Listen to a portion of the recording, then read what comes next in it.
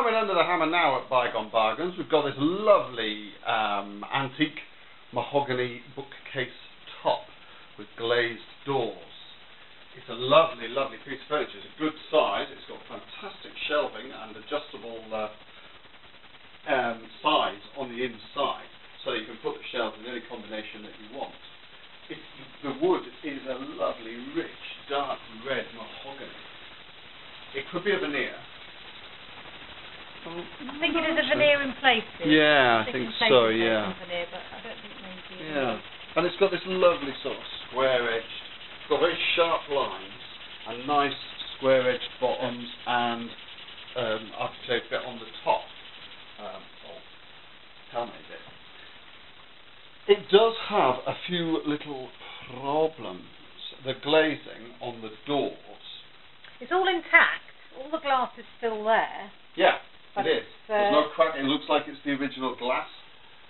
And as you say, so it is all there, and it's all. It's very nice for that because quite often with these kind of patterns, you often get one piece that's broken, but the um, the, the putty, for want of a better word, on the inside is coming away quite a lot.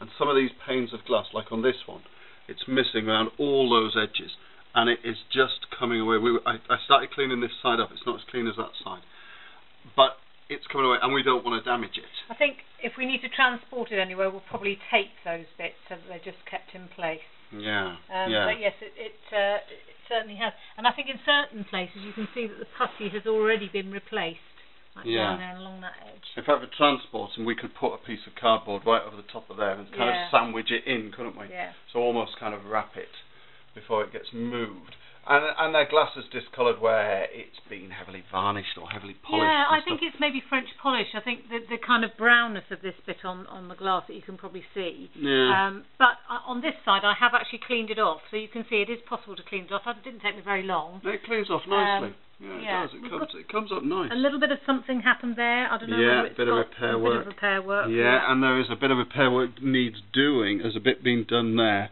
but there's one of these There's a bit is of- loose and coming that, off. That one up there. there It go. So, needs yeah, either a bit of TLC. It needs really. bit of. TLC. If it was me, I mean, it's got this lovely, it's got this lovely kind of brass edge down this door here, and it's got this lovely, simple, ornate keyhole here, and it has got closers on this door.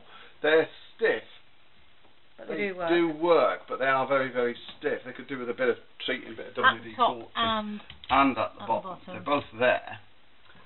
Um, and all very nice.